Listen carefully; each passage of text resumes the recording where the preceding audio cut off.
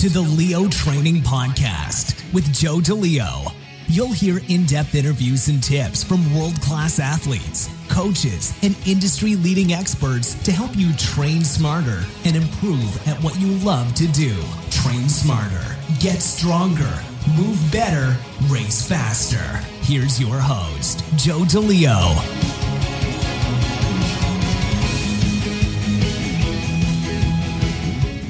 We're back with episode 50 of the Leo Training Podcast. And this week's guest is rowing coach Marlene Royle. Marlene and I discuss rowing technique, the human body in terms of posture, physiology, and how her education influenced her coaching style and principles that she adheres to when teaching the rowing stroke. Now, let me tell you a little bit more about Marlene. As a competitor, Marlene has won major titles in sculling and sweep rowing, including a U.S. National Championship, a Collegiate National Championship, and a Head of the Charles title. She was awarded the Melissa Hale Spencer Award at the Westside Rowing Club of Buffalo in 1980 and the Beverly Jean Cook Award while on the Boston University rowing team in 1982. She also served as Boston University's crew's varsity women's captain in 1985. In 2000, she set two world records on the Concept 2 indoor rower. She is a registered occupational therapist in addition to being educated in physiology, massage therapy, and strength training. Marlene Royle's publications include Tip of the Blade, Notes on Rowing, Skillful Rowing, and Technical Drills for Sculling. Tech Tips is Marlene's column on the Craftsbury Sculling Center's website, and her column Training appears monthly in the international journal Rowing News. Marlene was among the first coaches in the United States dedicated to masters rowing. For 20 years, she coached at the Craftsbury Sculling Center as, and was the center's associate director from 2004 to 2006. From 2005 to 2009, Marlene was the head coach at the Florida Rowing Center. Currently, she coaches at the Whistler Rowing Club, the Florida Rowing Center, and offers camps and lessons by arrangement. Marlene is married to Russian author Sasha Sokolov. Without further ado, we roll to episode 50 with Marlene Royle. Welcome to the Leo Training Podcast. Thanks so much for coming on to the show. Good to be here, Joe. Yeah, I'm very excited to have you on. We've got an awesome episode. We are going to be talking in full depth and detail uh, regarding rowing, specifically the Masters uh, demographic. So, great. Before we get into the nuts and bolts of that, I would love for you to take a couple minutes. Please introduce yourself. Uh, let everyone know who you are, where you're, you know, currently located. I'm incredibly jealous right now because you're in some sunny, warm weather. So that's awesome. But yeah, go ahead. Tell us, uh, tell us who you are and where you're from and what you're doing. Great. Well, at, at the moment, at the moment, um, I'm on the west coast of Florida, in the south south part of Florida, so it's nice and warm, about 80 degrees.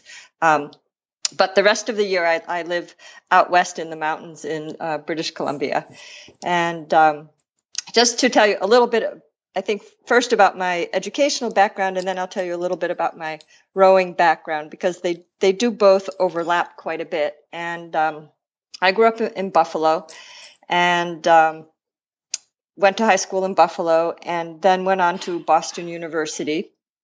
And at Boston University, I studied at Sargent College of Allied Health Professions, and initially I studied physical therapy. And then after two years in physical therapy, I actually changed my major to occupational therapy.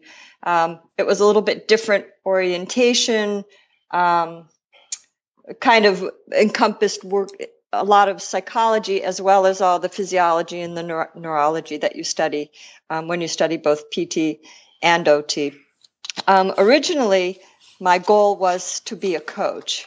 And um, when I was looking at going to university at that time, you know, this is early 80s, there, there were not necessarily the type of programs out there that there are today. And, um, you know, I, I wanted something that was kind of the equivalent of the Institute of Physical Culture, of what that is in Eastern, Eastern Europe and Russia.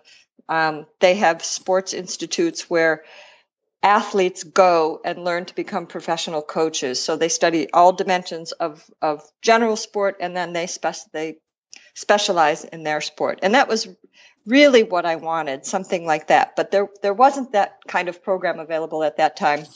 So, and I didn't want to be a phys ed teacher because I wanted more, more uh, hardcore science um, with neurology, kinesiology. So, so um, that's why I decided to study PT and OT. And um, that did a lot to kind of give me the background that, that I wanted actually to take to coaching.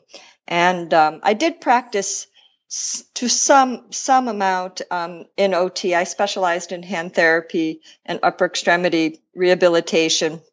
So I did a lot of work in orthopedics, and my second area of study was something called sensory integration, which is a lot of different type of therapies with the nervous system. Often they use it in schools with um, kids with learning disabilities to bring their, their if their nervous system has not developed exactly the right way. It's it's a whole mode of of approach and type of therapy that that develops the nervous system kind of from the foundation up to bring them back up to their say developmental level.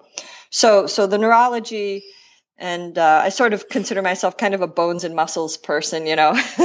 so that's great. Um, so that that was a very strong background um, from a science point of view, and um, and then I also went on when I worked in hand therapy. I also went on to to get my uh, certi- certification in body work and massage, and I studied and I specialized in sports massage therapy too, as well. Um, so those those are kind of the things that sit behind my coaching. I would say from from an educational point of view. Um, as far as rowing, I, st- I started rowing in high school when I was 14. And at that time, it was 1977. And there weren't a lot of girls or women rowing at that time. It was very, very early. And uh, Westside Rowing Club started a girls program at that time, and, and Westside is a is a very very strong established club. So I, w- I was in the first group of girls rowing out of Westside, and um, I would say you know it was a really great introduction to rowing because Westside has such a long, deep history and tradition, and has produced a lot of great athletes and coaches, by the way. Uh, Tom Terhaar, I believe, is from Westside originally. And um, so it was a really strong club background. From there, I went to Boston University and I rowed there for four years, um, was the captain my senior year. And we, we had a very good uh, four year period of winning some sprints medals and head of the Charles and national college titles. And I was very lucky to have two excellent coaches, uh, Stuart McDonald and Holly Hatton, who were both Olympic coxswains. So, besides sort of the training and the racing and the college experience of rowing, uh, they were big influences on me because we kind of looked at rowing as a way of life. And it, we, we sort of used to joke and we used to define, well, there are rowers and then there's oarsmen. So the rowers are the people who show up for practice. They row the boat, then then they go home. Um, the oarsmen are the people who are kind of living living the life of rowing in the sport. So you know we, we were always kind of defining you know who was who on the team and stuff. But but it was more of a philosophical approach and um, you know they they were a great influence because they also shared with us and with the team so much about their national team experience, and uh, Holly was involved with you know the very very first women. Um, she knew the 1976 boat. She was on the 1980 um, Olympic team that was boycotted, unfortunately, but she knew that whole era of early women's rowing too. So, um, so those were things that that was a really strong experience. Um, after after college, I started sculling immediately after college like the day after graduation. That's awesome. and and, um, and then I and I was pursuing lightweight sculling uh, on the elite level for a couple of years, like in 85, 86, and 87, predominantly predominantly training in Boston. And I also started coaching at that when I was in university at in um, Boston University because they had one of the first master's programs in the United States. It was a program called the BU Summer Rowing Program, but it was an adult recreational pro- program where you could come and learn to row sweep. And at that time, there was, this was 1982, there really wasn't any opportunity for anyone to learn how to row in Boston. You know, community rowing was, it was going to be another, say, four or five years before community rowing started. Clubs like Riverside and Cambridge didn't really have learn to row programs at that time. You needed to know how to row if you were going to join. So BU had this summer program, which was really big. Sometimes I had eight eights out on the water. Wow. Um, so it was a really, really big program, and and that's that's actually where I started coaching. And um, so my first coaching experience was with masters, and uh, when I started sculling, I realized that I really wanted to coach sculling, and I really liked working one on one with people. And there weren't a lot of opportunities to do this because not that many people were sculling at that time either. Very few people had their own singles, and there weren't even recreational boats at that time, like like there are so many things available now.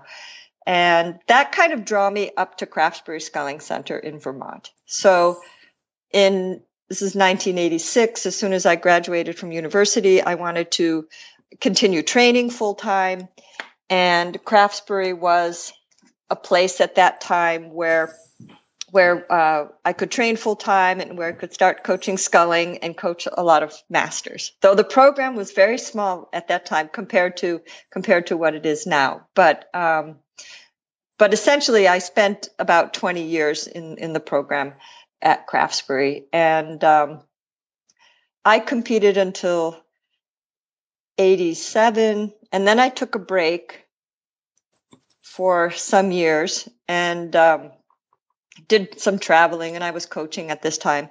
And and I went back to training full time when after the Atlanta Olympics and I was 33 years old. So I decided to make to, to make another shot and try to go for it for 4 years so when I was 33 I went back back to full-time training and uh, and trained until I was until I was 38 so I actually kind of retired from from elite rowing when I was when I was 38 and uh, had some very very good successes. Making the Olympic team in 2000 was enormously difficult. There were so it just there was an incredible depth of lightweight scullers in the U.S. at that time. And um, so I like to think of myself as I was a very good two percenter, but uh, but it but it was a it was a great um, experience to take that five years at that age from 33 to 38 and to just dedicate yourself to training and i think that it was that period of time where i really started to learn how to combine the training and coaching and i had exposure to a lot of different coaches and I used to go, for some winters, I used to go to Israel to train. And I went there um, when my husband is Russian and, and I speak Russian. And there were many Russian coaches in Israel after the Soviet Union dissolved. So there were some very good coaches to work with there. So for several winters, I went to Israel in the winter to work under some of these coaches.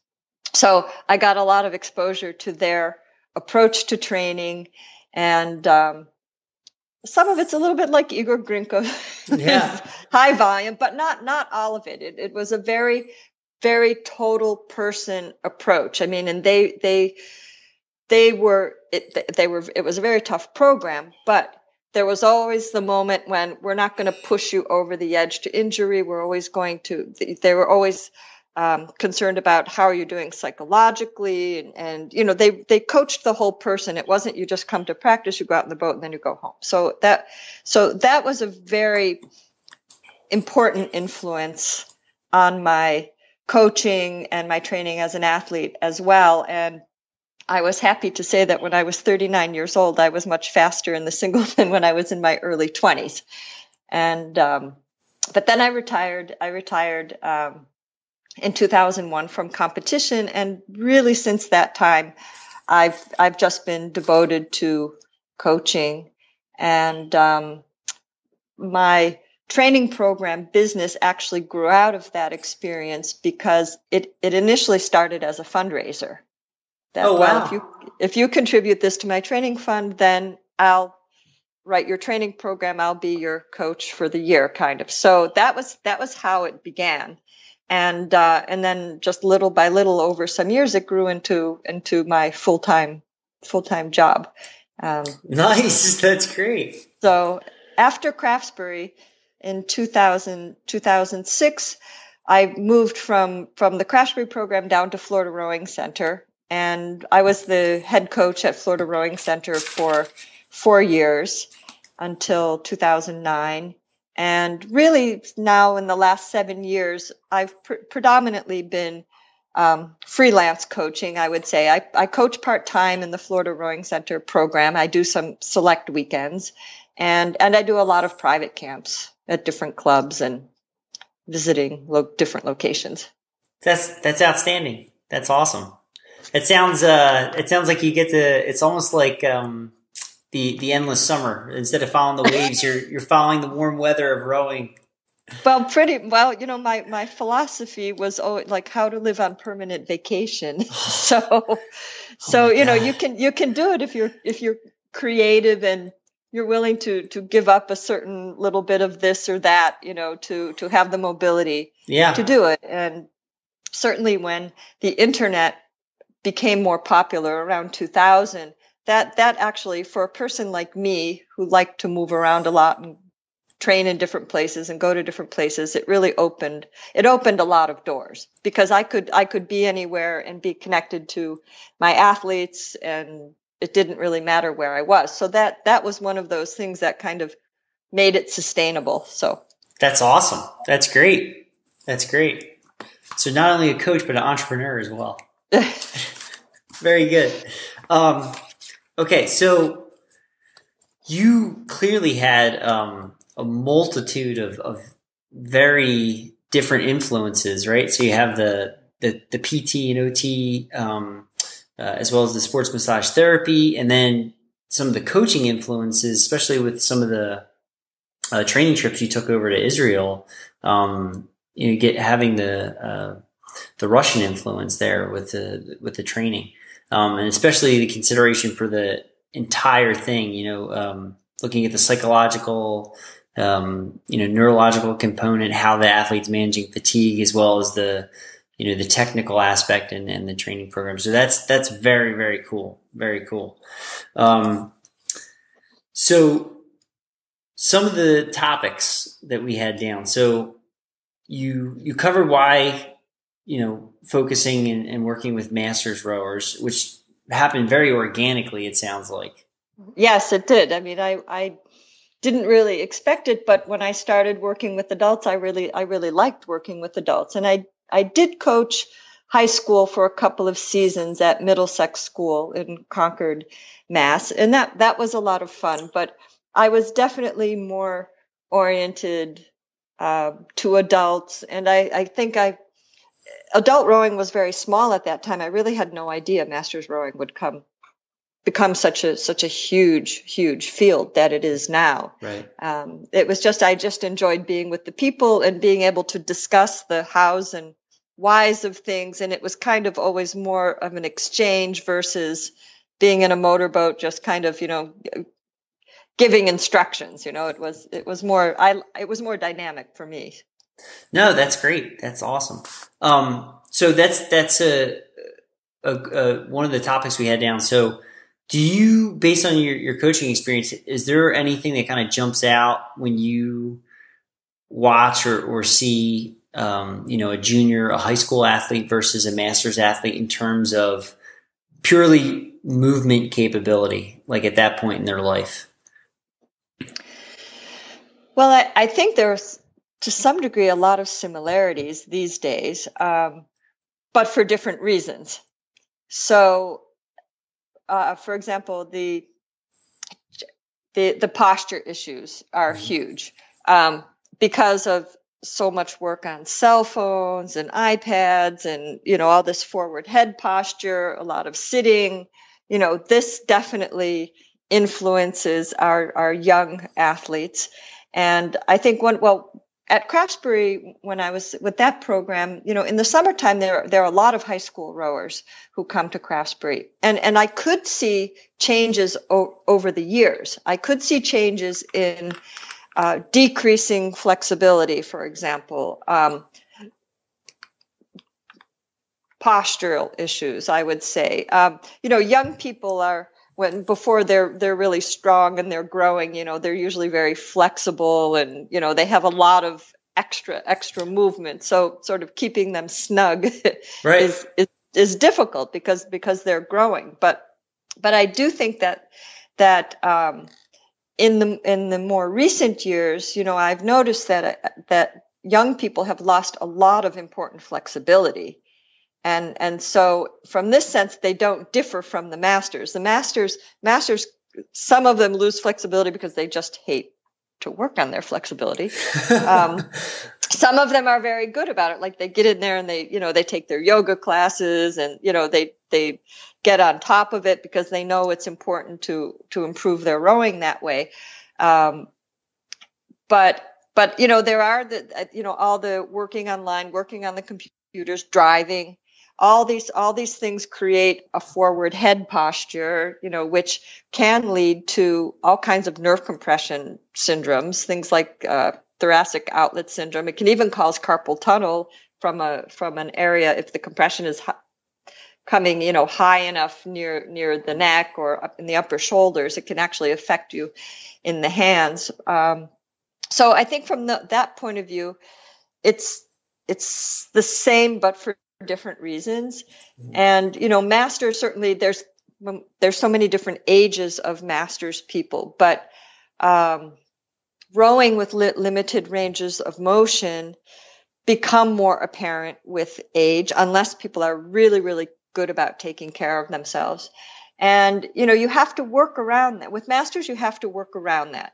Um, you have to try to keep them in the, the strongest pattern, the strongest, most correct sequences that you can, given what they're capable of. So there, there are a number of things you can do with the boat setup, with rigging, to accommodate um, various lacks of flexibility. I think with the younger athletes, if they get in with the right program and they have they have good good coaches and good strength coaches working with them, you know, they can learn good mechanics right away. And if they learn the good mechanics right away, they'll probably keep them for the, for their rowing career.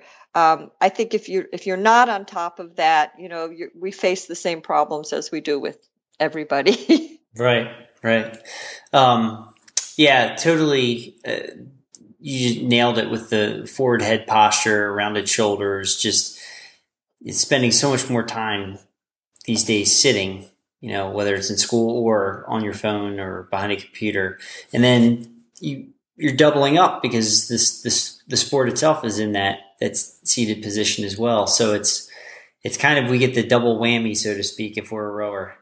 Exactly. Plus driving. And yes. Somebody's driving too. That, that if you're not actually, uh, set up properly in your car and, and, uh, I try to tell my athletes when you're in the car, you can be working on your rowing because you can work on your positioning if you set if you set your rear view mirror so that you actually you actually have to sit back against the seat and have your head on the headrest. If you if so that so that your your head is aligned over your hips.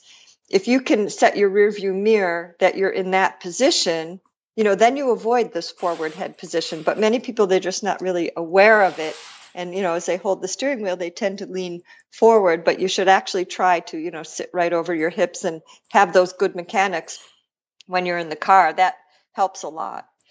That's great. I've never i've never heard that before but i love that because you're just keeping all the the joints stacked over one another. Um okay. So next uh next topic. So we we touched on posture uh as well um, do you want to go a little bit more into depth on like why that's so important in terms of making sure that you can maintain a good strong position, especially as you're building fatigue in a in a training session? Well, you know, I think as a as a foundation of of the rowing stroke, and this is certain, certainly something that that I pay a lot of attention to coaching, um, as well as the the other coaches who work at Florida Rowing Center. We we pay an enormous amount of attention to posture, and it's the whole foundation to transmit our, the power of our stroke. And you know, I've listened to a lot of Bob Kaler's work, and he's he's terrific about writing about this. And that you know, preventing the flexion the flexion of the spine. You know, if if I'm watching a rower and I'm and I'm just seeing, you know, you're seeing the the the the back flex, you're seeing the lower back collapse. You know, I'm looking at all of this flexion as just basically, you know, that a lot of the power of your leg drive and the stroke is all being absorbed into the spine.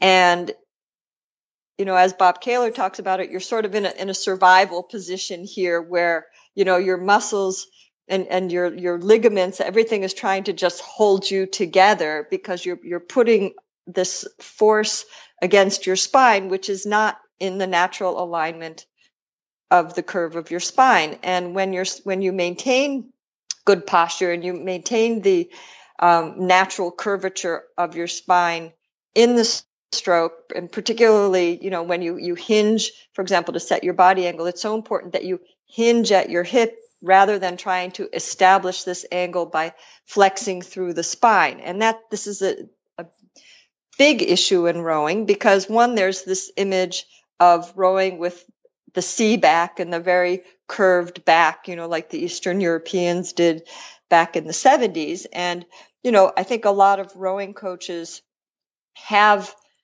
moved away from this model uh, because they start to see, you know, they see a lot of injuries. There's a lot of uh, back injuries are caused by an unstable position, about, you know, shear forces going into the spine. And when you row with with you know a, a, good cylinder so to speak and mm-hmm. and um, maintaining your ideal spine position your spine isn't absorbing the force of the drive but it's able to transmit the force through your hips into your body weight into the swing to to move the oar handle. And and you know there's no reason why people have to have back injuries in my opinion. You know and and i've seen a number of masters who almost had to stop rowing because of back issues. And as soon as we work on their posture, as soon as they learn proper hinging to at the hip to set their body angle, they learn how to to keep their lats engaged. They they learn how to, you know, I emphasize a lot, for example, on the recovery, not to allow the, the shoulder blades or not to allow the scapula or the shoulder blades to slide forward because as you're moving into into the position of putting the oar in the water you know if the spine loses its integrity that's where you know the rower is going to try to quote get more length by by stretching and overreaching through the upper body. So mm-hmm. if you're watching them all of a sudden you're going to see the shoulder blade slides forward slides forward. Eventually their weight kind of starts dropping down on their feet. They haven't put the blade in the water.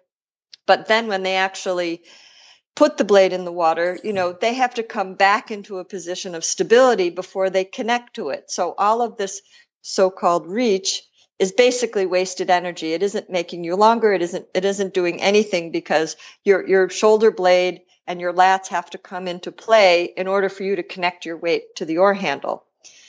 So I like to to bring their focus to once they hinge, they set their body angle to keep their shoulder blades really stable and keep keep their lats engaged, keep the work lower, like under say under the armpits versus letting the work creep up in in their traps. But your stroke length comes from your lower body. It comes from the position of your hips and where your hips are relative to the pin when you put the blade in the water. Where the, the amount of stretching or overreaching through the body doesn't determine that effective length. Right. of the stroke. That's that's determined more by our hips using as much range of motion as we can getting into compression.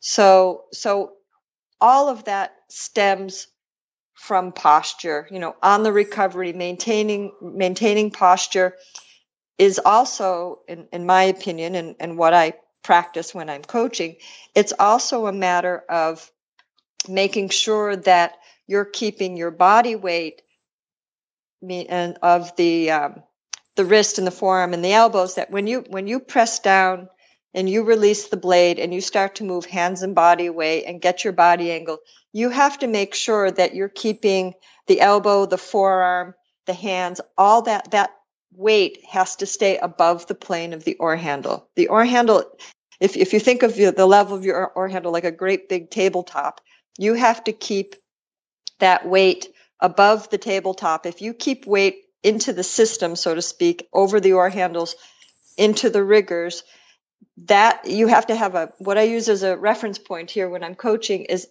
you have to keep enough overpressure over the top of the handle that it raises your sternum. If if you drop if you drop if your wrist drop below the handle, your elbows drop below the handle, all your weight goes into the seat, and that's mm-hmm. usually where people's lower back collapses. So once they've felt this this ideal spine position, and as they hinge and move hands and body away, it's important to keep keep that plateau, keep that weight above the handles, which supports supports your sternum and supports the curve of your back, but it also keeps you light in the seat. Mm-hmm. So that's much better for the buoyancy of our boat. And as we move into the recovery of keeping the boat running better, that, you know, we have to stay light in the seat. We don't want our, if our weight all of a sudden comes collapsing down on the seat, which is usually what happens when the lower back collapses. Usually the suspension is lost and the weight comes down on the seat as well. So that part of the stroke, you know, posture is absolutely key to you know maintaining a lot more momentum around the release and into the follow through of the stroke, which is where the boat is traveling its fastest. So without posture, all that weight's going to collapse and basically push the boat down in the water. So it's a it's a very very important element of how you uh, use your body weight awareness mm-hmm. of your body weight, stability of your body weight, and and also using the system of of the riggers and the oar handles as a means of support to maintain that as you get closer and closer to the entry. You know, you need the support of the oar handles and kind of weight weight into the pins, especially when you're out at, at full extension, you know, by keeping some weight over the oar handles and the lats engaged, you also maintain some weight against the pins, which is going to help you maintain that posture, you know, when you're out at your, your fullest extension. No, that's great. I, I really, um, I love so many of the points that you touched on. Um, I, but one of the things that I really, um, resonated with me is you talk a lot about like using the lats. So much of the way that you're talking about getting stability is from the center out, using the biggest, strongest muscles of the body to do so. Um, and I think that's so important because a lot of times we try to do it with what's on the you know the the periphery or the distal ends of the body, the hands and the feet, and you have to learn how to do it you know from the from the center out. It take it, it's very skill based, um, but you know just sitting here thinking about kind of pressing out a little bit, just very gently laterally. I can feel the, the lats contracting and I can also feel the, the chest and the sternum raising, just like you talked about. So well, the the, the lats are very are very key, especially especially on the recovery. Mm-hmm. Um, you know the on the on the recovery, we have to think a lot about stability and sort of not just stability of our body, but stability of the whole system because our oars are out of the water. We want to keep a stable hull if we want the boat to move at the best speed possible. So, actually, when I'm coaching, I spend a lot of time on the recovery because the recovery has to be perfect in order to set you up for the perfect entry and and a, and a very good drive. Because in your stroke basically your oars are out of the water two-thirds of the time. So what you do in the boat during that time is very important to your boat speed. Um, if you had two crews who had equal drive equal erg scores equal drive pressure but one one crew can row with their blades off the water, keeping their riggers absolutely level, staying with the speed of the boat, maintaining a higher base speed, more momentum on the recovery, and another crew rushes the slide, you know, the boat's going from side to side, they're killing the boat speed, you know, basically he who has the best recovery wins. And and recovery stability is is based on our core posture. It's based on maintaining a constant relationship to your pins. And some, a lot of people don't even think about pins of their oarlock when they're in the boat. But, but in, in my world, the pin is your boat. That's, that's your focus of where you keep your weight all the time. And in a situation on the recovery, you know, how you how you maintain equal pressure or an equal relationship stabilizes the boat because because you're making your bide, your boat wide. So if you think of stability as oarlock to oarlock and keeping the oarlocks level, that's that's a very different platform than balancing. Like I would say the idea of balancing the boat is our distal balancing. That's people try to do it by pushing on their feet and moving their hands. And um, that's a very narrow plane. But if we bring this into our center and we, we work from the center out, then, then we can create a, a wide base of support. And one of the images that I like is, is, is I, I call it the diamond frame. So if I'm doing a video review and and I'm looking at a sculler from the stern, you you can essentially see how they are fitting into the structure of their boat. And if they're connected to their boat and you draw a line, you can draw a line, say, from the, the center, from their head, you can just draw a center line right down the center of their torso. You can draw a line from, if you draw a line from their shoulders to the oarlock, shoulder to the oarlock, their elbow should fit into that line. Your, their elbow should, where your body weight goes, where your elbows go. So at the release, you would see, you would see basically your line from the shoulder to the oarlock creates the top part of the diamond and then your rigger to the oarlock creates the bottom part of the diamond. And so when you're looking at someone, you want, you want to see a, a symmetrical frame or symmetrical structure. And in that case, if this person is symmetrical and, and I can see the diamond frame when I'm looking at them from the stern and we, we can see them keeping the weight of their elbows and forearms stable, you know, then they're, they're, they're connected to their boat. They're part of the structure. So now it's a system of your, your body, your boat and your blades, you're moving together. You're not in the boat doing something to the boat. And that's a very, very big difference in terms of how you're going to um, ultimately make your boat go fast. You know that that this this puts you more in the mode of um, I like to say put everything in the context of a push and keep everything out of the context of a pull.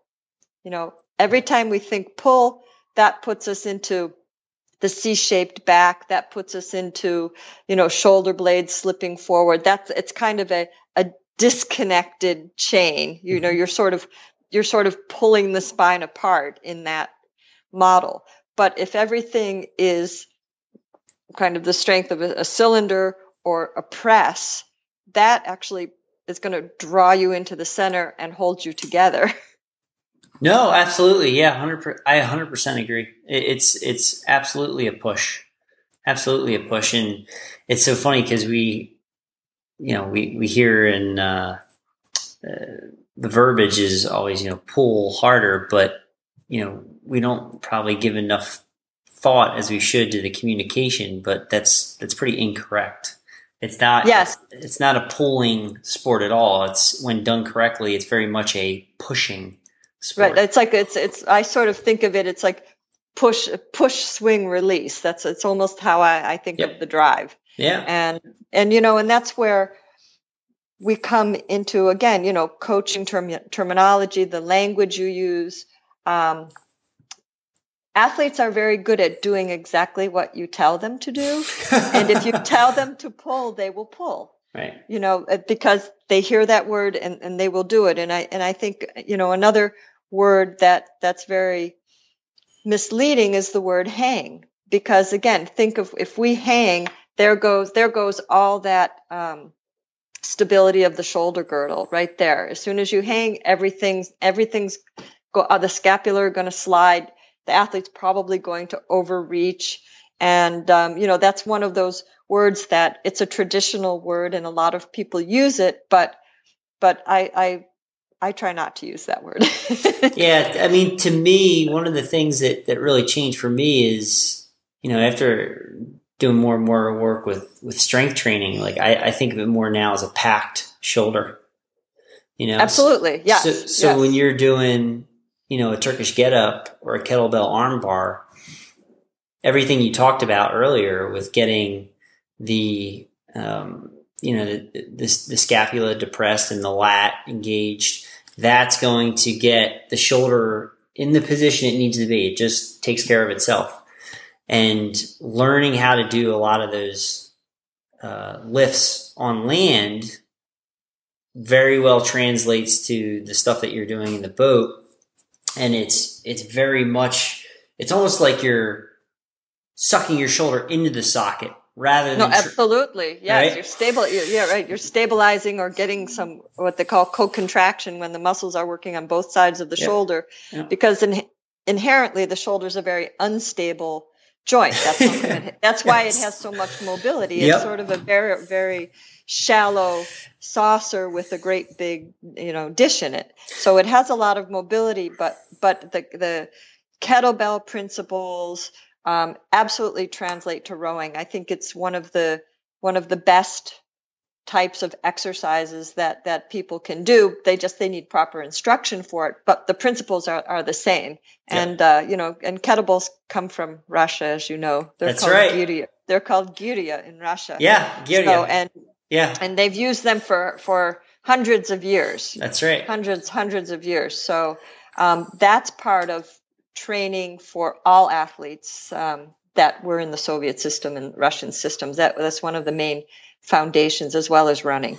So um, they're fantastic. So all that you know, all that type of work, it just completely supports what we want in the stroke. You know, I I think I think one of the things that's that's very different or very difficult about coaching rowing and difficult for people learning how to row is that they're not oriented correctly to what is happening in the dynamic of the system of the boat and the oars. Mm-hmm. And I call this thinking in the direction of the boat. Mm-hmm. And as soon as you can get an athlete oriented to what direction they're really going, and it, and it, and it sounds a little bit funny, but our body always wants to go the direction where we're looking, where our eyes are our eyes are looking in the wrong direction and rowing because we want all of our force to help move the boat forward, but we're not, you know, we're backwards.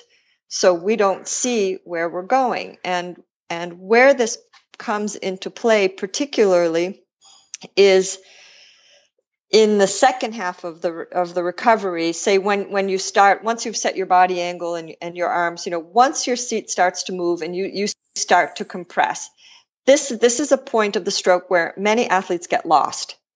Because what happens what happens at this point you know when when you're when you're at the release and and your arms are coming away you're setting your body angle you can see the pins. You can see your blades. They're in front of you. They're they're within your field of vision. But as soon as you start to move up the slide and and your hips start to approach the pin you know the, the blade is behind you the pin is behind you. The pin has to be the, the focus to support your to support your body weight but that's now behind you. And and that's a place where it, especially for scullers it's very easy for them to fall through their handles. And that's when you know they overreach their body weight goes forward. They literally if you think about what's happening at the oar handle, it's almost pulling their oars away from the direction of the boat. Right. It's opposite. Right. Versus, and, and so what happens, their weight falls on their feet.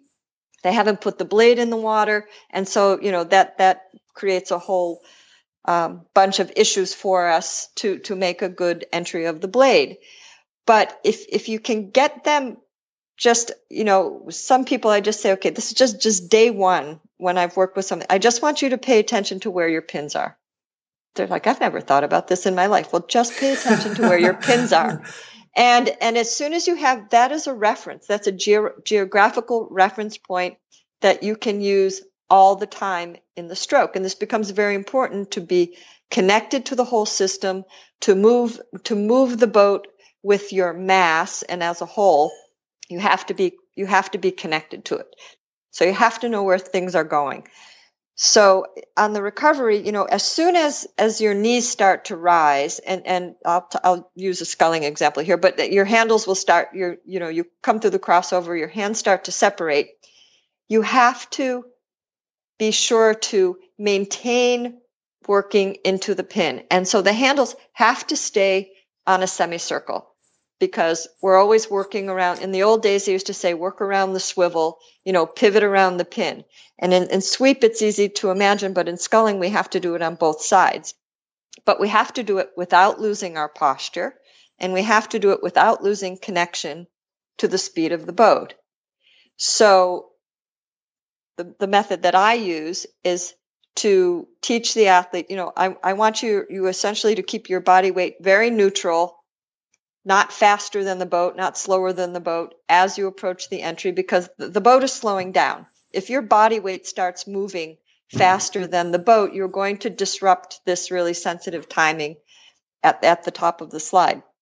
But if you teach someone to take the the um, motion of the slide, take it out of the lower body, meaning don't pull yourself up the slide, um, because you have no idea what the speed of the boat is, no matter how good you think you are. You don't know what the speed of the boat is. And eight people certainly don't know the speed of the boat. Um, but you teach them to kind of focus on, just focus on separating the handles. Maintain your posture. Don't change the posture. Just separate the handles. It's just a widening of the handles. That keeps their weight working against the pin. And essentially, you can also help the boat move forward a little bit because again now you're working in the dynamic of the direction that it, the boat is going so i like to think right. about it as you know you you maintain your posture and basically you separate your handles to draw yourself up to the slide and, and or you push the pins past your hips and you don't have to change any posture in order to do that successfully and in order to stay exactly in time with the speed of the boat. And this is going to set you up to make a, a very good entry because there's no more um, syndrome of rushing the slide. Rushing the slide doesn't does can't exist in this environment.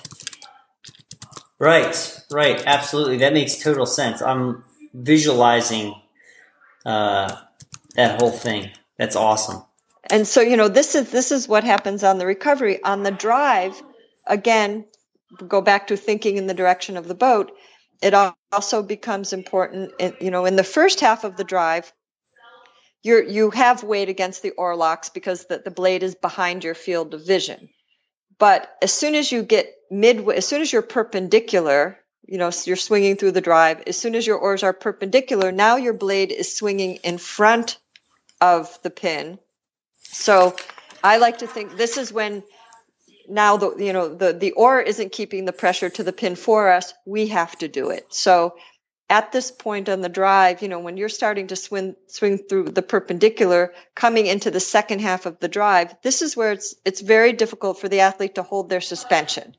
You know but if you're a really good rower you can you can keep your weight suspended in all through the second half of the drive but you have to work your weight into the pin and you have to maintain that posture and the connection with the foot stretchers in order to, to hold that suspension all the way through the end of the drive. And um, I try to even have them try to hold that through the release.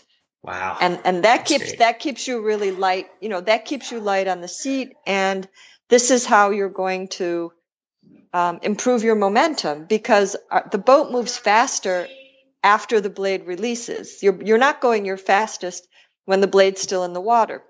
The Right. boat the Right. boat speeds up to its highest speed, you know, during your follow through. So the, the lighter we can be, you know, call your seat a digital scale if you want. but you know, but the but the lighter you can be, the more you're going to, you know, keep that connection, hold that suspension. This all goes back again to our posture and and maintaining that spine position. Otherwise, that that transmission of force is lost. Yeah, yeah. You, you want to prevent as much um, or many as many energy leaks as possible. You, you wanna- Absolutely, Yeah. right. That's great. That's awesome. That's great. Um, okay, so do you have any key differences between, say, the boat and the ergometer? Oh, oh yes.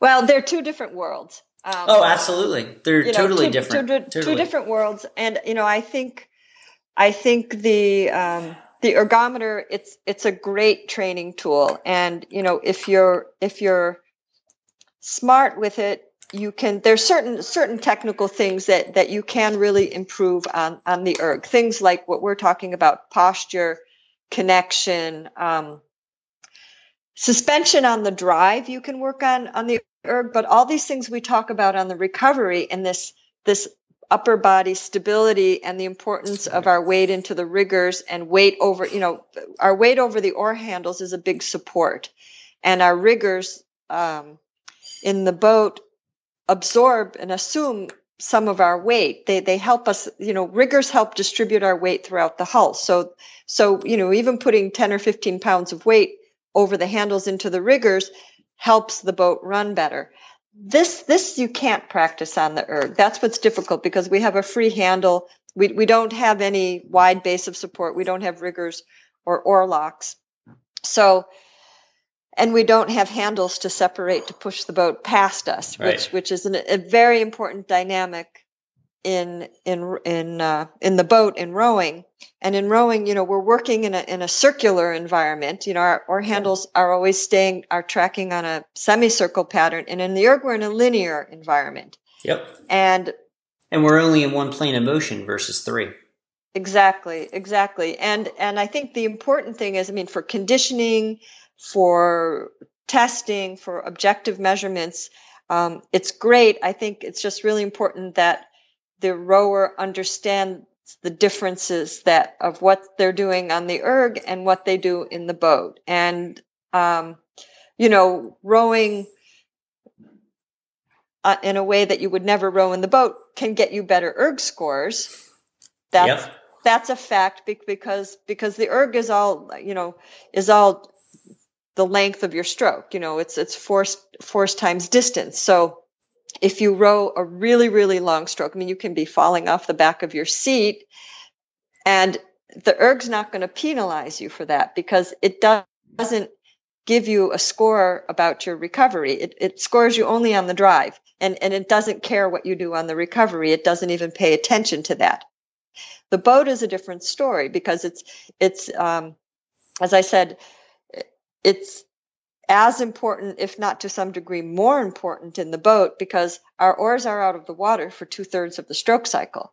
So if you're in a race, you know your oars are out of the water two thirds of the time. So that's a you know a 600 stroke race of the head of the Charles. Your oars are out of the water, the Right. equivalent of 400 strokes so so that you know that's the difference in the skill that that has to be trained but but i think if you're interested in moving the boat well you can certainly use an erg effectively i know for like low intensity rowing i like people to row with their feet not strapped in because that that's one way that it it limits their their backswing so so that they don't have this really exaggerated backswing when they're on the erg um, just have them take their feet out of the shoes. And they certainly can work on sequencing and posture and kind of all these things that are happening in the center of the boat. You know, you can work on those.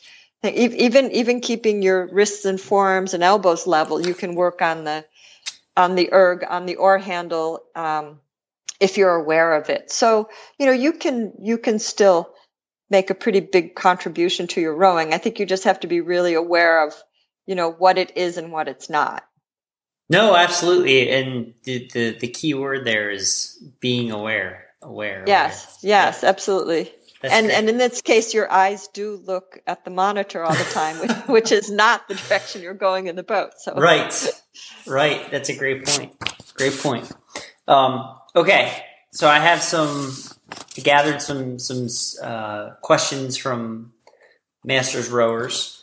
Um, okay, so can masters in the the racing E category or E plus handle workouts twice a day? Some can. Okay. I think it depends. It, well, there's again individual individual factors, but um, you know, I do definitely have athletes who are in that that age category, and some of them do t- train twice a day. Um, they may, for example, like on days where they do their strength training, they may also have an aerobic component that they did that day. It might be a cross training day. It might be a low intensity day. Um, sometimes there are people who prefer to have their intervals in the morning and they do their strength training in the afternoon. They kind of load up the day.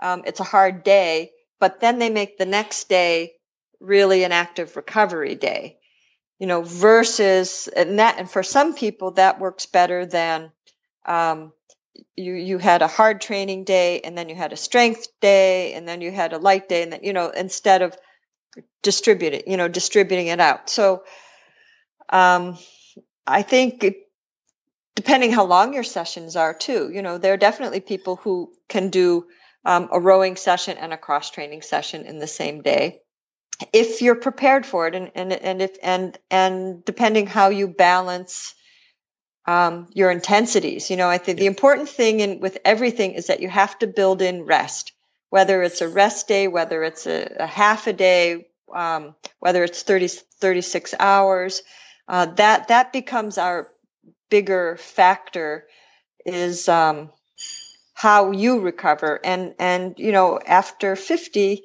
it's going to be different. So, and, you know, and sometimes you're not sure, you know, strength, certain types of strength workout can be more demanding for the nervous system to recover from. Um, than some other types of things. You know, things kettlebells have a very special effect on the nervous system. They they seem like, oh, I didn't do that much, but then the impact is quite strong. I, right. I, I, find anyway. Yeah. In my, yeah, my yeah. own experience, it's because it's sort of it, it stimulates your nervous system in a very broad way. It's different than if you went and did, you know, some machines and some bench pressers, things like that, because it's so much more integrative.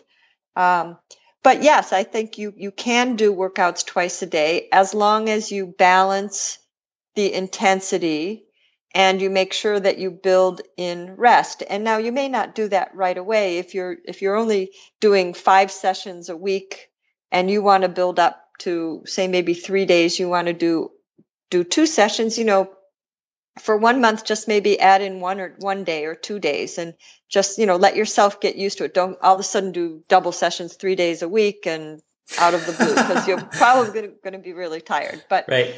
but, um, you know, if you're prepared for it and you work up to things gradually, you know, there's no reason why not. Some, some people, you know, really, really like that. They like doing something in the morning, something in the afternoon. You can also do slightly shorter sessions if you're doing more frequency. Awesome. That's great. That's great. Thank you. Um, so, what is some advice you have to accommodate training uh, when you when either equipment is not available or you are in a time crunch? On, do you think on land? Yeah, yeah, yeah. I, I believe okay. so. If they were had to substitute something in on land. Well, I'm a firm believer in running, though a lot of rowers aren't fond of of running. But um, if you are able to run and you don't have any, you know, restrictions that you can or injuries that you can't run, you know, running is always one of the most economical ways to get a great aerobic workout. And you mm-hmm. don't need any equipment if, if you have just a space a space where you can run. Um, body weight body weight exercises. You know, even things like like air squats or you know or um, push ups. Do you know push up push ups, pull ups um, elastic bands. You yes. know, I know when when uh, some years like when we when we've traveled a lot, you know, we carry elastic bands with us all the time. You can even do that in a compartment in a train if you want to. Right. Um, but things like like squats, um, deep squats, that that you can get plenty tired just from doing body weight squats this way. Um, you know, your types of core work. I mean, those are those are things you can do. No, I, I, I totally agree. Um, I was just going to add in, I think, you know, I, I really learned this past year how taxing body weight training can be. Um, so like earlier this year, one of the things that I was pursuing and I earned in, in August was the SFB, so the Strong First body weight certification. So women have to do a one arm push up. Men, uh-huh. men have to do a one arm, one leg push up. So, and that's only one of the six skills taught at the certification to go over tactical pull up. So doing it from a hollow position, just like gymnastics, uh-huh. handstand push ups, pistol squats, a single leg body weight squat. Um, hanging that's leg. one of my favorites. Yeah. Single leg squats is definitely one right. of my favorites. And that, and that's, you can do that at home. You can do that anywhere. And, you know, they're killer. They are, and they are, and and so some of the things that I love a lot about a lot of those movements is that it is um, it's low rep. You don't need to do a lot of repetitions if you're doing them right, and it's a very honest and good appraisal of your balance and symmetry on the left or right side. So you know, you know, there's no hiding. You got some things to work on if you can, you know, go, you know, all the way down and do a full pistol on the right and you can't do it on the left. Exactly, right? exactly. And so. that, you know, that's great. And that, you know, and also, you know, the one legged squats or even just doing, just doing squats with no weight or just holding this counterbalancing with the small mm-hmm. weight. I mean, that all works into your hip flexibility that directly relates to our positioning, you know, moving in, into, into the entry at the, at the top of the slide. So, so it might be a blessing for you not to have any equipment available. That's right. That's right. totally. Um, do you have any uh, recommendations in terms of, say, an athlete is crossing multiple time zones and traveling for you know a race? Um, you know how to how to manage their their energy expenditure or how to uh, account for that, like you know should they be leaving several days beforehand to acclimate to the to the difference in time that type of thing? Ideally yes. Um, one one day per hour of time zone difference.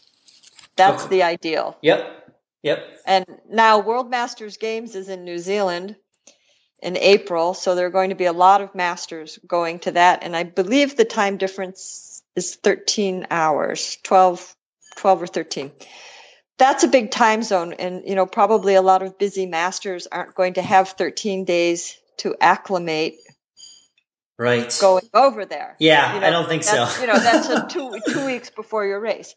But there is a way it's a little bit unorthodox but there is a way that that you can start to prepare yourself. And that is you know determine determine the the times of your most important races and and just see approximately what time of day they're going to be held. Are they going to be late afternoon New Zealand time? Are they going to be in the morning New Zealand time? And um, and then figure out what your time is at home. Mm-hmm. And, and, what you can, what you there, there's a, a website I think it's called Time Buddy. You can you can put in two cities and you can you can convert the time. But what you can start doing, and what I would recommend start doing, is you know, it could be a really strange time of day for you, but start transitioning to New Zealand time before right. you actually go to New Zealand and start doing some. Um, you know, if you get there and you only have two or three days, you're not going to have a lot of, you know, you're you're on the opposite of the day. You know, their their day is your night, and and so what you can do is start doing some of your workouts and practices on New Zealand time. No, start, that, that's get your body get your body used to used to that time. Um, that was something that uh, CB Sands and Chris Ernst did. They mm-hmm. won the the lightweight double in 1986 in Nottingham for the U.S. and and they didn't have much time before the regatta in, in Boston. And you know they were actually out you know, rowing in the middle of the night, you know, rowing at wee hours of the morning. And because they were, they were already starting, you know, a couple of weeks before the world championship to, to live on regatta time. And, um, and, you know, I think that made a, a very good difference to, you know, avoid that acclimat- acclimatization. You know, I know with altitude, if you usually start to well, even if you go from altitude down to sea level, I think you begin to get the effects of acclimatization on the third day. So, to some degree, you might be better off just to fly there and right, race right away than to fly there and be there for three or four days and then race. You know, it depends how how sensitive you are to things like that. Some sure. people doesn't bother them, but other people it can really, really make them feel um, kind of disoriented. So, um, so those are a couple ways to approach it, and just good nutrition, staying really, really, um, you know, staying really well hydrated. And when you get to your new location, and this this is for people who business travel a lot too. You know, one of their main rules, if they're training and they also, you know, they fly to China every week and and then to London and things like that. One thing they try to do is as soon as they arrive at their destination, get on local time no matter how tired you are, no matter what, just immediately start living on local time. And, and that helps, you know, you might have one day that's really uncomfortable, but, but then, but you'll adjust faster. No, that's great. That's great. Uh, that was awesome. You, you jogged my memory. I remember, um, one of the last few years that they had the event, the men's Coxed Four.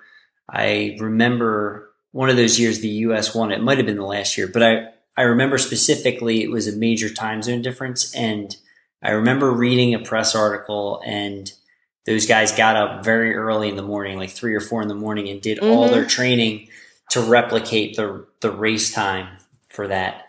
So that that uh that that jogged the memory bank, so to speak.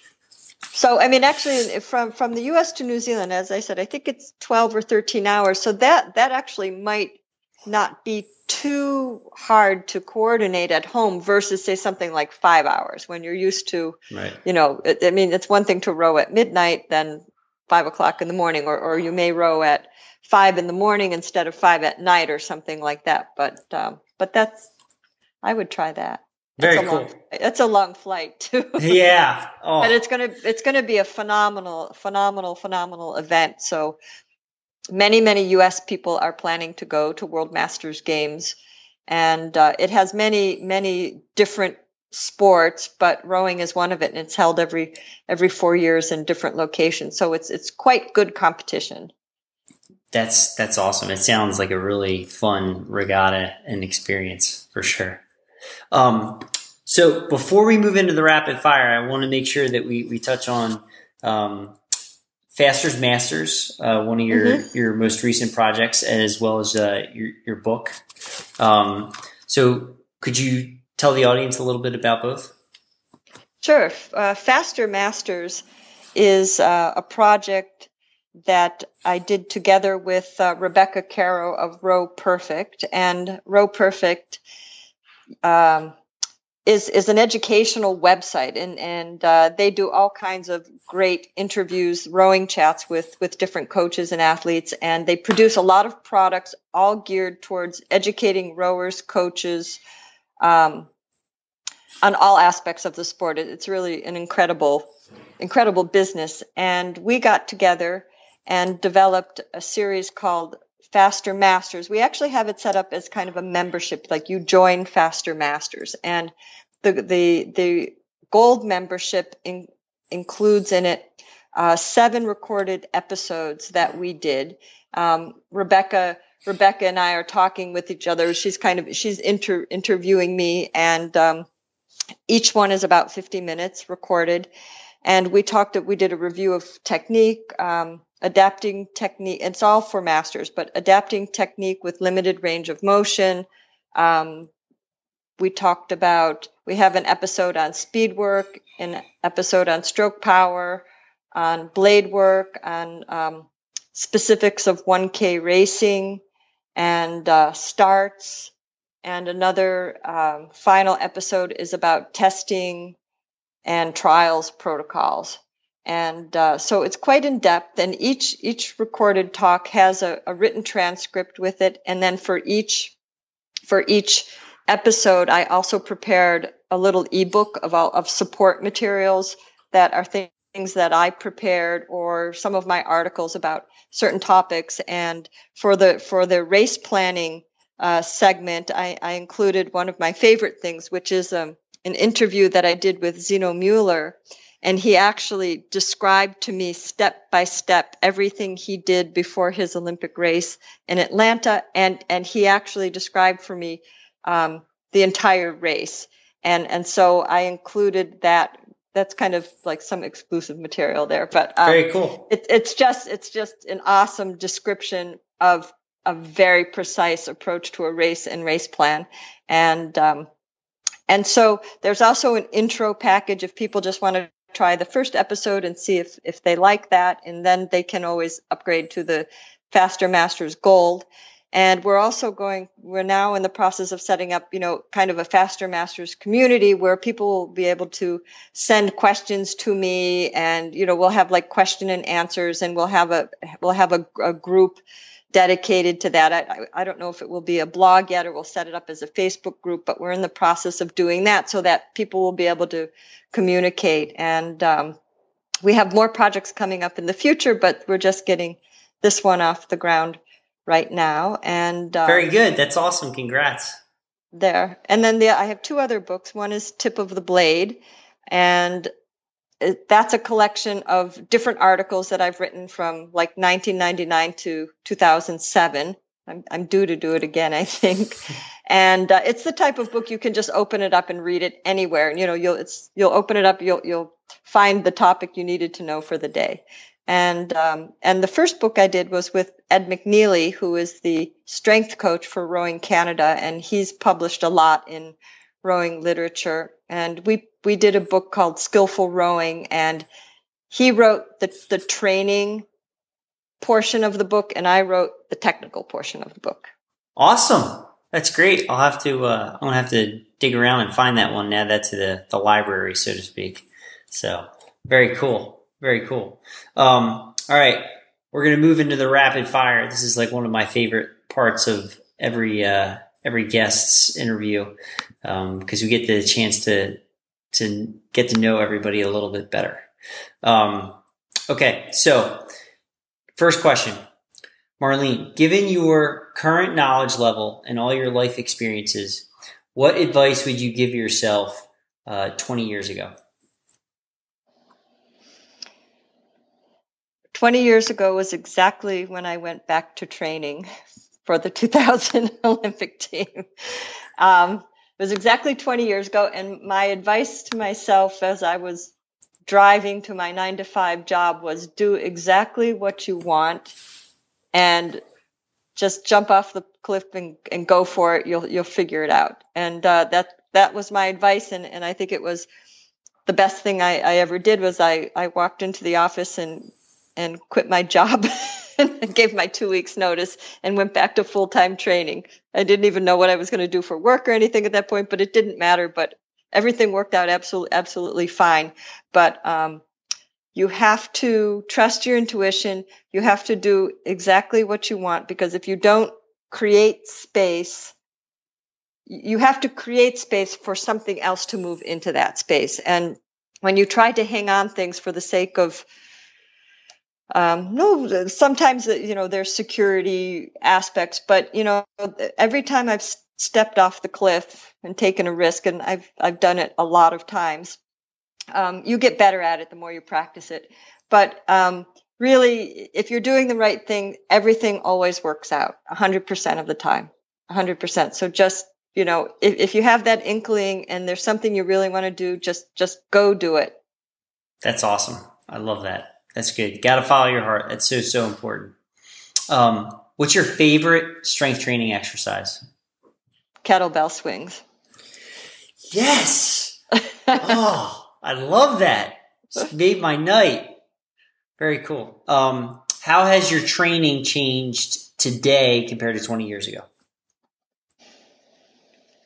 Well, I don't do as much volume, that's for sure. I mean, I'm I don't compete. I don't compete anymore. I've actually never really competed at the masters level um, because I got so involved with with coaching. So, write, writing lots of training programs and helping other people compete. It's sort of my mind isn't on competition for myself. Um, but I'm I'm more of a recreational athlete, and I probably don't do as much as much hard work as I used to do. Mm-hmm. Um, or as much or as much volume. But but i do you know I, I do train every day and and sometimes twice a day. And you know i do row and cycle and and do my gym work and stuff just because i like i like the lifestyle of being athletic and and training. You know i don't really i don't need the competitive goals anymore. Um, but I think it's really important to to stay in good shape and to stay healthy and and uh, enjoy being outside. And so I'm more um, calm about it these days. that's that's awesome. No, that's great. That's great. I love that. That's definitely I've I haven't been, you know, I did the head of the Charles in an alumni boat this this fall, but it's mostly been more about you know being stronger and healthier and taking care of my body because realizing you know you only got one. You got to make it last. Exactly, exactly. Well, and I like and I like the process of training. So yes, you know, for me, I, I'm not one of those people that oh, I just wanted to to do 20 minutes of something just because that that's the the minimum. You know, I mean, I'm I'm happy to to cycle for a couple of hours. You know, I like I like long distance training. So you know, I'm happy to spend the time training just because I enjoy doing it. So yeah, that's awesome. That's great. Um, have you ever had an injury? And if so, how did that change your training? I've been pretty lucky that I haven't really had a major injury. Um, I've had a broken bone, but I, I, wouldn't really, I won't consider that an injury in this case because once it healed, it didn't really affect anything. Um, in, in college, I had a back injury that was a muscle strain that happened um, in my second year of college. And it kept me out for a good part of the competitive competitive season. And it took me probably a summer to kind of ease back, ease back into rowing. And um, and cycling was actually a big part of that because that was something that I could do for a long time. But that also kind of helped my back feel stretched out and better. Um, but, but once at that time, I think it was just a very heavy training load, and we weren't prepared for it. Um, but actually, after that, I never really suffered an injury that that was anything major. So you know, I've been quite quite lucky in this case. But I'm very I'm very conservative. Um, you know, when in doubt, wait. You know, if something feels a little bit sore, I just back off right away. So you know, I, I was never a person to really to to push through that type of pain. And I think probably coming from an orthopedics background, you know, I realized if something's not happy, just stop, you know, just just let it rest for a day or two. It's much better than losing a month or two. So so I, I've actually been quite lucky in, in this sense. That's that's so so important. I'm glad you you you said that because uh, that's not always the mindset that we tend to no. take.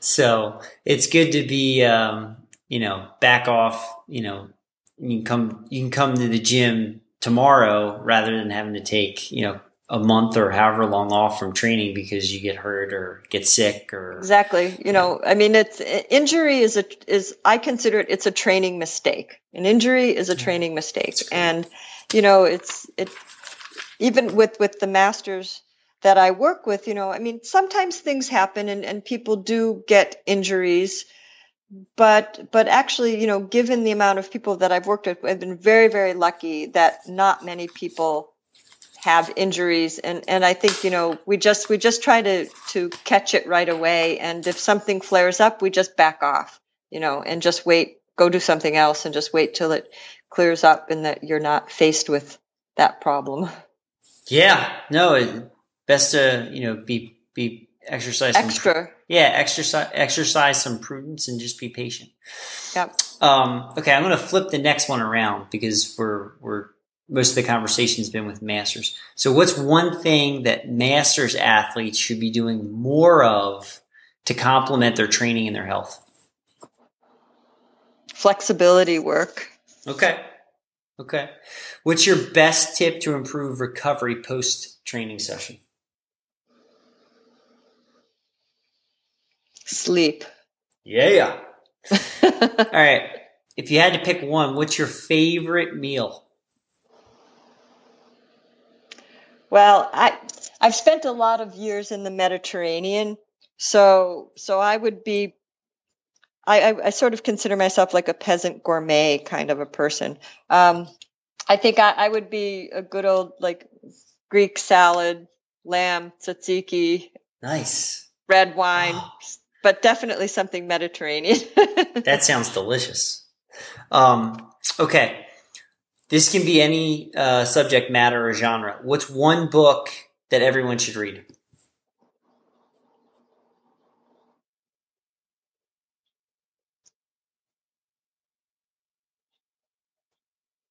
Thinner this year.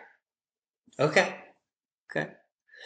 Um, it's an it, it's an interesting book because it's written by rowers, and it's a good lifestyle health book, but the one woman who wrote it, she is a PhD in muscle nutrition at Tufts, and she's also competes in the head of the Charles in her single. And the other co-author who does her program uh, is 80. He, he, may be 81 years old this year, and he also races a single in the head of the Charles. But it's a fantastic lifestyle book, especially for masters. So very cool. I'm going to check that out as well. Um, Final question. Who do you study currently or have you studied in your career to improve? Tudor Bompa is one coach. I've done, I did a strength certification with Tudor Bompa. Um, I really like the work of Stuart McGill, who's a, a back researcher. He's, he's great. And um, his wife is actually one of my athletes. So um, I get some inside tips every once in a while.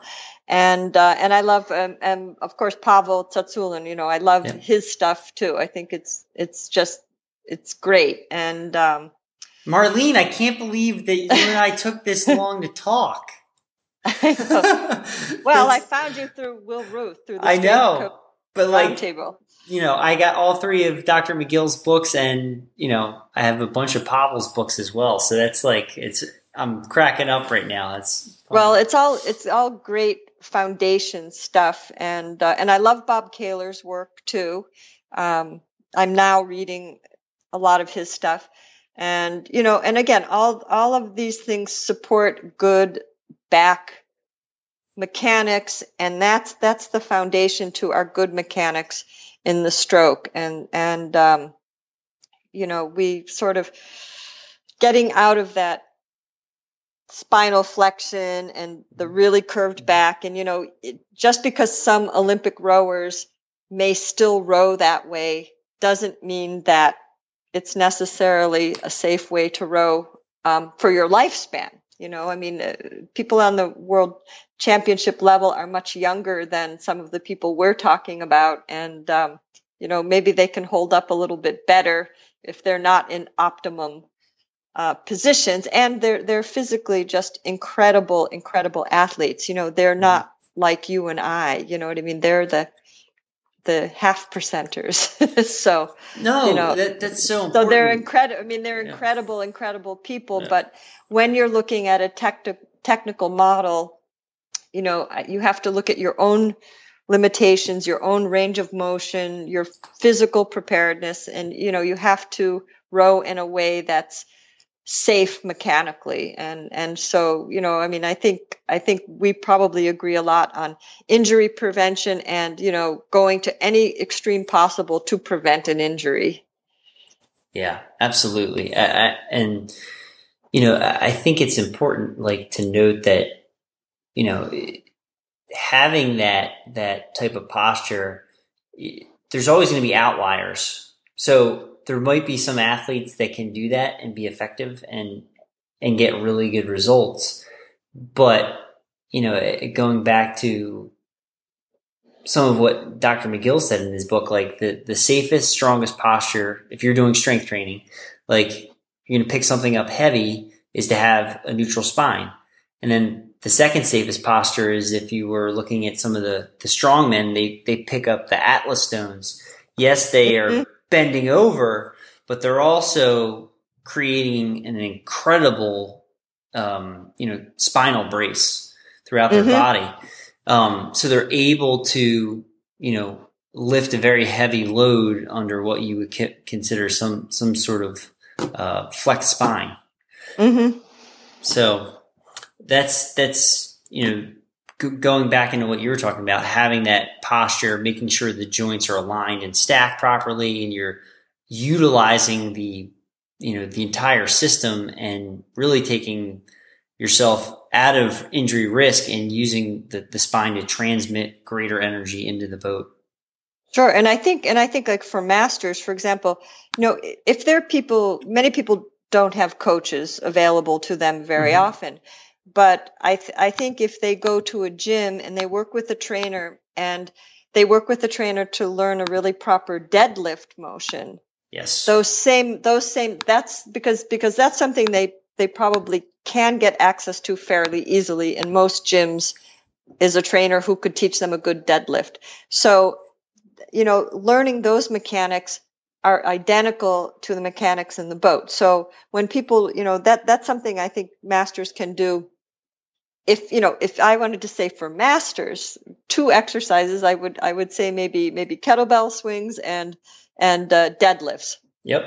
If they could do one i would say deadlifts just be, from because of the technical point there's so much carryover in, into the stroke. And that's something that they can be coached on to to have really good mechanics and then that awareness will will transfer into the boat. Well you you've uh, you said it, but that's that's awesome because that's one of the things that I I believe in wholly. Um, I, I've seen I've seen it firsthand. I've had athletes I've worked with say the same thing. Um, you know, and I, and I, think the the big the big point is is one is you're developing the awareness on land in a very safe, controlled environment, and that's I think often lost is that when you're on on the on the water, there is a lot of variables that provide a lot of extra noise that completely disrupt, you know, the signal going to the athlete. And mm-hmm. you know, you're just on sensory overload. Yeah, there's a lot going on. I mean, I mean, it's it, if you're rowing a single too, and you're rowing a single in a competition. I mean, you know, there's a lot of multitasking going on yeah. here. So, yeah. and and it, you know, there is a lot of distractions, and and uh, you know, I think that's one of the reasons why experience becomes so important in racing a single successfully because because little by little you you have to you have to manage all this other stuff going on on race day not just your your technique in the boat. You know there's everything else steering and noise and obstacles and weather and no, totally. It, it's yeah, it's a lot. There's there's a million things going on just beyond uh, putting the oars in, in, the water and pushing hard. Um, but Marlene, this has been an absolute pleasure. Thank you so much for taking the time to come on. Great. Well, I've enjoyed it too, and I hope that our masters will like it too. Oh, I know they will for sure. So just just hang on the line. Let me give you a proper goodbye, and we'll uh, we'll uh, get off the air. Okay. I hope you enjoyed this episode of the Leo Training Podcast. If you found the content valuable, please head on over to iTunes and drop in a five star review. Or share it on your favorite social media network such as Facebook, Twitter, Instagram, or LinkedIn. And be sure to tune in next week with another brand new episode when I interview Dr. Tim Szymanski, the WAD Doc. Thanks for listening to the Leo Training Podcast. Subscribe and get even more expert training tips at www.leotraining.io.